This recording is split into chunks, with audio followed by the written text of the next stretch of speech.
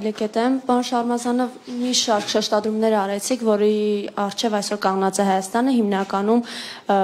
բացասական երևույթների մասին խոսեցիք, հայտնի է, որ հանրապետական կուսակցությունից շատերն են այս ամենին անդրադարձել, բայց ի վերջո հետաքրքիր է։ Հանրապետության երրորդ նախագահ Սերժ Սարգսյանը երբ է այս ամենի մասին խոսելու եւ եթե կարելի է ձեր պատասխանումն չասեք շուտով եւ երբ ժամանակը գա, որովհետեւ մեզ առավել հետաքրքիր է երբ է այդ շուտովը եւ երբ է այդ ժամանակը գալը։ Շատ շնորհակալ եմ հարցերի համար, բայց թույլ տվեք ես ինքս որոշեմ ինչ ասեմ եւ ոնց ասեմ։ Իմաստիլը կարող է ցես կամ բավարի կամ չէ ժավերի մեր Սերժ Սարգսյանն, ապա պետք է նշեմ, որ Հայաստանի Հանրապետական կուսակցությունը բազմաթիվ պաշտոնական հայտարարությունների արել, գործադիր մարմնի հայտարարությունը, այ վերջին հայտարարությունը կապված սամարական դատարանի